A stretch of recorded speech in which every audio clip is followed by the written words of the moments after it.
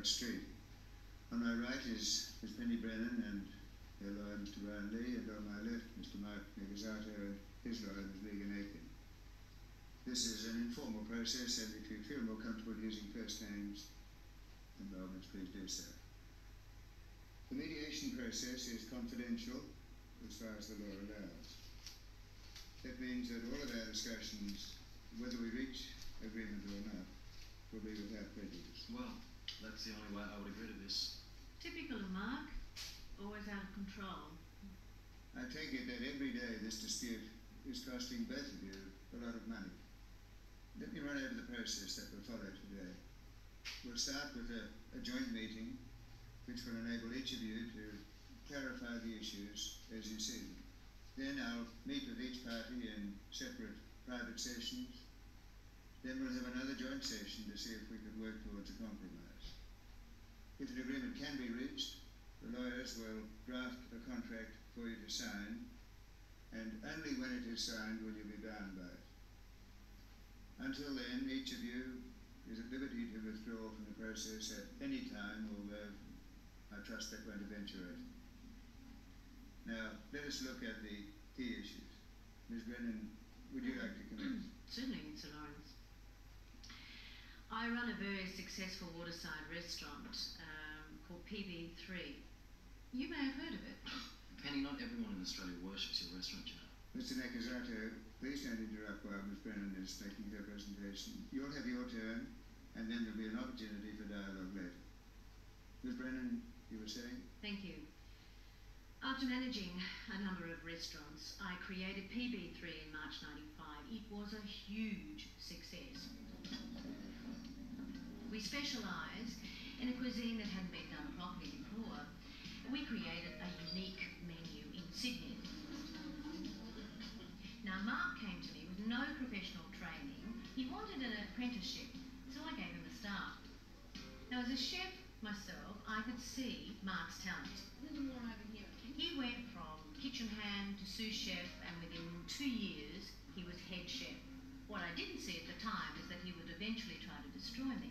So, But together, we worked and developed the style and the menu, so much so that we became top of the market. But I, I helped him fully develop his style. Mark and the restaurant became flavour of the year. uh, this is our head chef. Uh, Nice to meet you. So we drew up a contract, which in effect he tore up because he started his own business within walking distance of my place, on the same boardwalk. You know, I couldn't believe, but I discovered that restaurant had my dishes that I had designed, half my menu, and my head chef working it. Mark, when were you planning to tell me? I asked him to leave, and he wonders why I asked him to leave. I was just so hurt and shocked. You're nothing but a little upstart. You were nothing until I discovered you. You're overreacting, Penny. You can be such a goddamn bitch sometime. And you're not a bitch? What's your nickname around the kitchen, sunshine? Please, ladies and gentlemen, Mr. Nakazato, you'll have your turn presently. Mr. Lee, are there other matters that we should focus on? Uh, yes, Sir Laurence. Uh, PB3 is structured as a registered company. The contract of employment between Mark and PB3 prevents him from working in a 15 kilometre radius from PB3 during his term of employment and for a period of two years after termination. Penny believes that his actions amount to constructive resignation, and we claim damages to recover his replacement, which may involve searching for a chef overseas. Now, we believe this will be at least $30,000, as shown in those calculations. We also claim property in the recipes of PB3, some of which Mark is using at his restaurant without permission. These recipes were developed during the course of his employment and remain the property of the company. The interim injunction was gained to stop Mark's restaurant from trading. The hearing for the final injunction is 21 days from the date of the interim injunction. Thank you, Mr. Lee. Now, Mr. Nakazato, would you like to tell us how you see the position? The opening was fantastic, and I was training full to the hilt for a week. And then bang, this bitch closes me down. Perhaps you could take us through the course of your employment from the beginning through to the present. Sure, okay. Well, I dropped out of an electrician apprenticeship and Penny gave me a job. It was just kitchen hand stuff. It was terrible money. But after about six months, I was doing everything. And within two years, I was head chef. When Penny knew she needed a new direction of food, so I started redeveloping the cuisine. And that's when the critics came. They gave my menu rave reviews. Turnover doubled, the A-list people were dining in lawyers, brokers, I mean, dreadful people, but they did have good taste in food. So, sorry, I didn't mean anyone here. Anyway, that's when the new contract came up, and I just trusted her, and I signed it. Anyway, PB3 was going fine, but it's an evening meal kind of place, and Penny had no intention of moving to lunch, so why couldn't I do lunch in a specialised restaurant? Good evening. I even discussed it with Penny, but she wasn't interested, so I just moved quietly a little further doesn't compete with PB3. Perhaps I should ask you to leave. And then Madam here sees it, throws 50 bits, and when she realises it might, bang! Sit the day and the rock license will And then that is over. She gets the, the goons to serve some papers and closes me down. I wasn't going to let you walk away with all my clients, Mark. Please, Miss Brennan, it would be better if you didn't interrupt. Well, I'm, I'm sorry, I'm sorry. I can't believe what I'm hearing. Miss Aiken, are there other matters that we should consider? Yes, Sir Laurence. We dispute that my client resigned and point out that he presented himself to work but was refused entry. The contract was signed in dubious circumstances, and the only lawyer my client spoke to was Penny's lawyer, so it may not be upheld if it goes to court. Mark's skills are only for an inner city, upmarket, harbourside clientele. The clause restricting him from working within a 15 kilometre radius effectively robs him of his living. Much of the menu at Mark's restaurant is different, and those dishes that are similar were the property of Mark, invented by him outside working hours. They do not infringe the rights of PB3. The new restaurant is a lunch-only venue, so from a commercial point of view, it doesn't compete. Thank you, ladies and gentlemen, for those presentations. I suggest it would be useful to identify the key points of agreement and of disagreement.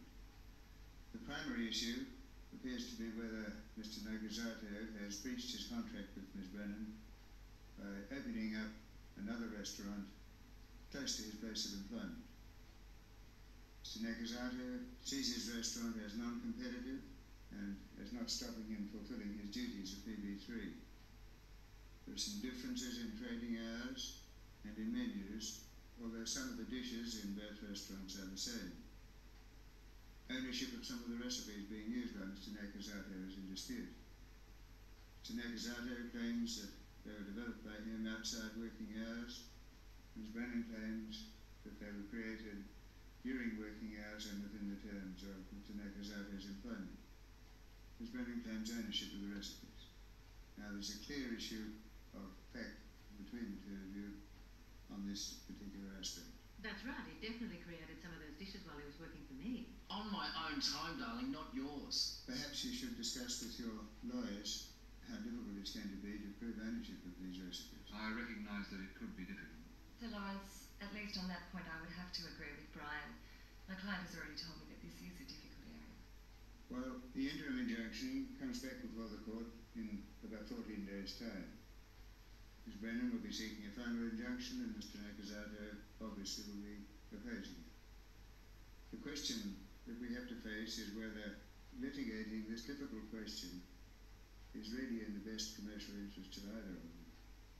The lapse of time is obviously going to be causing damage to PB3 along with the awareness of the loss of Mr. Nakazato. And from Mr. Nakazato's point of view, the longer the neck remains closed, the greater your financial loss. Is that a fair comment? Doesn't take into account the pain and suffering when someone goes out on a limb for someone else. Then how about acknowledging the people that really made the restaurant a success? Perhaps we can look at these personal issues later on the day. At the moment, let us concentrate on finding a commercial resolution to the dispute. Yes, well, that's why I'm here. Yeah, me too. Or could I suggest that each party put forward a proposal that would achieve this? Well, Mark is available to work for PB3, but there are issues of back pay for termination. Then there is a central issue, lifting the injunction on Mark's restaurant. Work for me and drum up business for a rival restaurant. Oh, please. And back pay. Penny has had to pay high wages for chefs to fill in for Mark, so back pay does not appeal to us. Back pay? I don't believe you. Hmm, Ms. Brennan, how do you see the way forward? Closing down because you're going to be closed anyway. Then we'll talk about you working for me. Could we regard that as an offer that you would re-employ Mr Nakazato if the restaurant remains closed? I suppose so. Yes. Is there any way we can find an accommodation between those two positions? She, she wants my restaurant. That is not negotiable. I don't want it. I want it closed. There's no way you're going to get your claws into it, Penny. We'll see. Perhaps the best way forward is to go into private session. I should remind you that what takes place in private session remains confidential.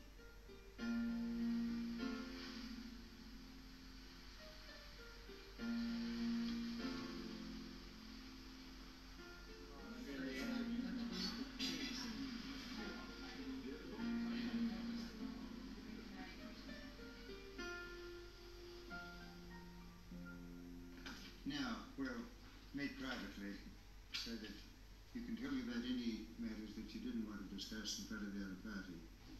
I'm not here to offer any judgments. My role is to help you examine options and to develop possible solutions that could be put to the other side. Well, Sir Laurence, we're quite confident of gaining a final injunction. What about the issue of damages?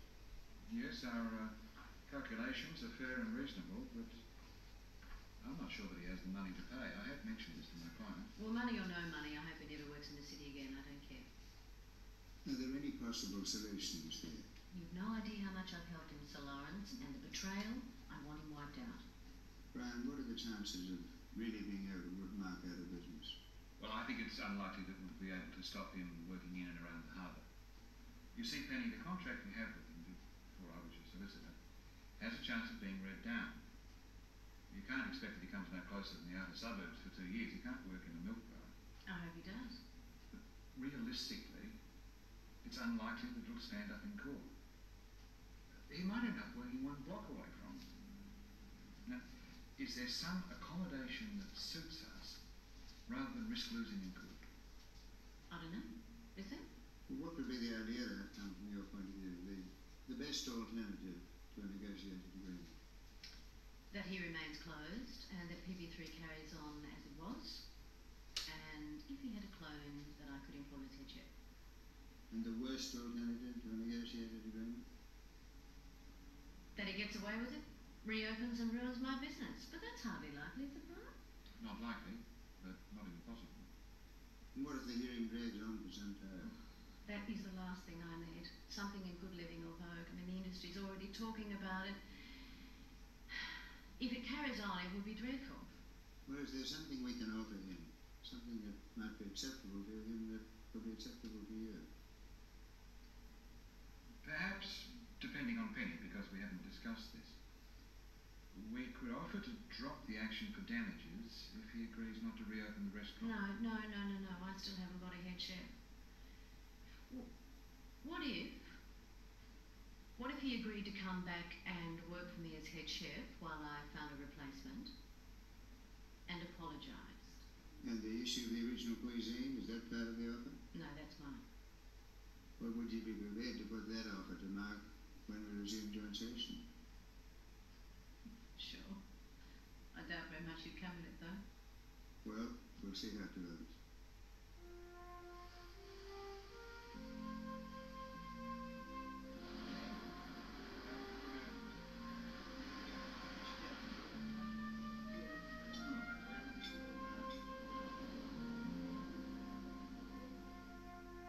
Are there any underlying issues you didn't want to mention before the other party? My money situation, which must have guessed. The restaurant cost me uh, $157,000 and that money's secured against my unit. Now, if they get damages as well, there won't be anything left. And they probably won't even see their money. From your point of view, what would be the best alternative to a negotiated agreement? Ideally, I would reopen my restaurant and she would leave me alone. I just want to get on with my life. She won't let go. And from your point of view, what's the worst alternative to a negotiated agreement? I guess if I lost everything and couldn't work again in Sydney. Megan, how do you see the chances in court? Well, I think the final injunction is arguable both ways. The interim injunction was gained without Mark being represented, so a final injunction is far from certain.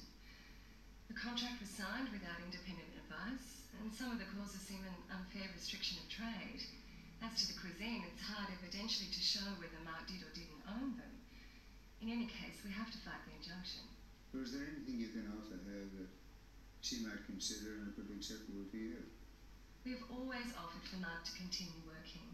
While we were waiting, we discussed trading off some of Mark's dishes. Out of 29, there are nine that were at PB3.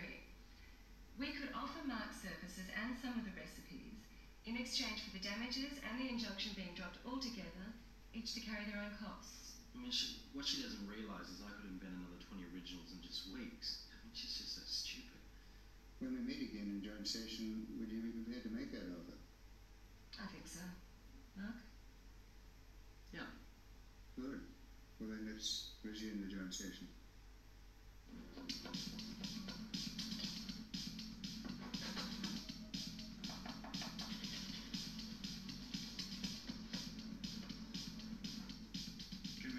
Take up the joint search for a commercial compromise? Uh, Penny, would you like me to put the offer? Brian, allow me. Mark, we will agree to drop the damages action and the injunction if you agree to work in the restaurant as head chef until I find a replacement.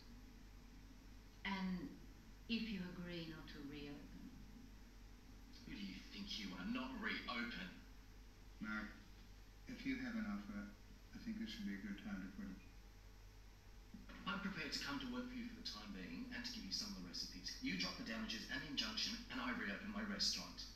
No way. Well, now, there are some positives here. Penny's prepared to re-employ Mark until a replacement can be found and to drop the case for the damages and the injunction. Mark is prepared to work for Penny in the interim and to concede the disputed recipes. But the real stumbling block is the restaurant. You're scared I'll wipe you out. Hardly. Face it, Penny, I was PB3. They came from my creativity.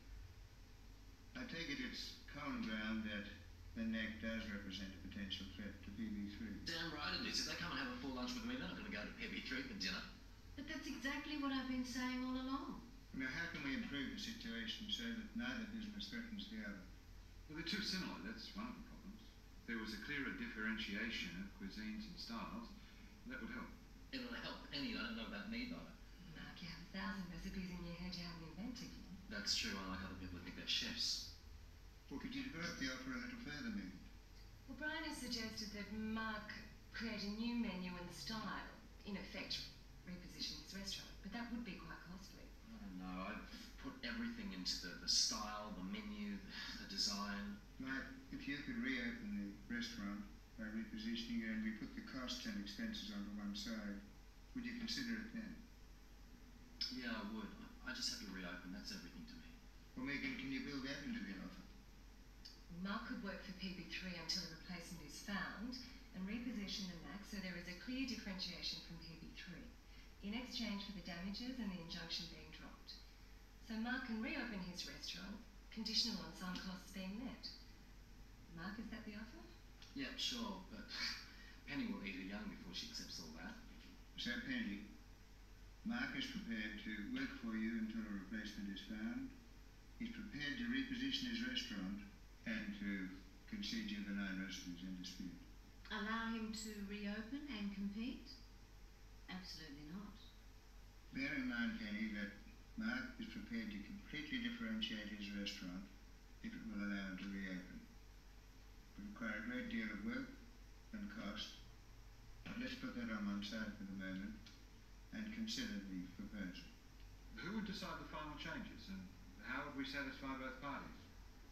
Well, time is of the essence for both parties, and I believe they know sufficient of these two restaurants to be able to differentiate them. If disputes arose upon matters of detail, we can thresh those out. I'd be prepared to make some changes, maybe. The style and the cuisine. Uh, hang on, Mark. I haven't agreed to anything. Now, you might be closed if I decide to go to court. Problem solved. Let's focus on the areas we do agree on. A fast solution is good for you both. The action for damages and injunction can be dropped, and Mark will work for Penny until you get a replacement. I'm not sure that Mark would do his best work for PB3 again.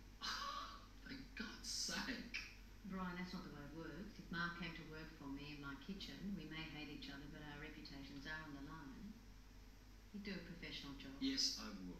Thank you. Penny, is there a chance that you'd allow his restaurant to reopen with the repositioning of the neck and its design and its menu? Um, I suppose so. Could I just have a word with Brian? Certainly.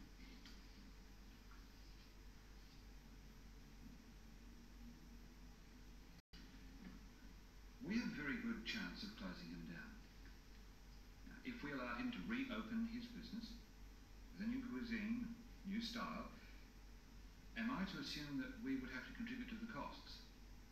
You see, my client has done nothing wrong, and yet we're being asked to put money in to start up a rival restaurant. Well, we are providing Mark's services, and the fees for those services could be favourably negotiated. We are also waiving the right to disputed menus. But the publicity could be a huge cost for your business before a final injunction is made, if at all. Let's concentrate on progressing the offer. We have an opportunity to drop the damages claim, for Mark to work again with PB3, to make the NAC very different from PB3. If that were acceptable, we have to find a way so that the expenditure involved in it will be for the benefit of both parties. Well, no, I think it's more than that. I mean, why should he go off and do all this and have a success that I've paid for? Why do I have to put in a cent? Oh, it's the bloody same, Penny. You really think your success had nothing to do with me, don't you? I'm not a shearer's cook, darling. I'm a chef.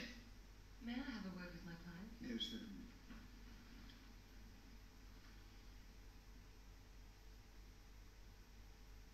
All right, all right, go.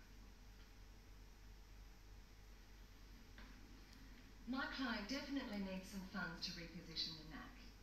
We propose that Penny put in a large percentage of those funds, but that they represent the significant mi- minority equity in Mark's business. That way his success is Penny's gain. There now stands a complex offer. Let me attempt to summarise it in neutral terms. Mark is prepared to return to work for Penny until a replacement can be found. He's prepared to concede the disputed recipes. He's prepared to reposition the NAC to make it very different from PB3. And he's prepared to offer Penny a percentage in the NAC in return for Penny contributing to the cost of repositioning. Penny's prepared to drop the action for damages and the injunction. Does that correctly state the offer? Brian? Megan? Yes, as I understand it. Penny? I think that's what we're offering, yes. That's correct? I, I think so. Yeah, I trust Megan, but we haven't discussed details. No, the question of your salary, the cost of repositioning, and the extent of the equity have not been canvassed. I just want to see if the offer has merit in principle with both of you before the details are negotiated. Um, of course, it's got merit. I'm offering everything that I can. Which isn't much. Well, you should each ask yourself, is this an arrangement that you can live with and work with on a daily basis? Depends on the amounts, but yes. I did not know you'd say that? Anyway, I certainly could see this offer through. Well, this is a major breakthrough. We've got an agreement in principle. I suggest we break at this stage and the lawyers can then negotiate the details. I congratulate you both on having achieved an agreement.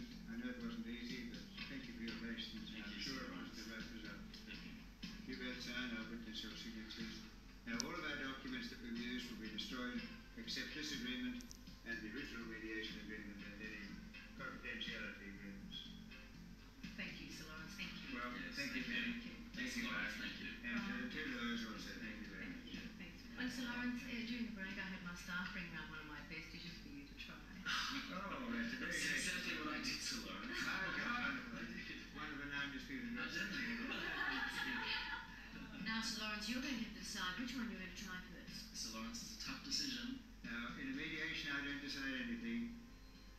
make the first bid?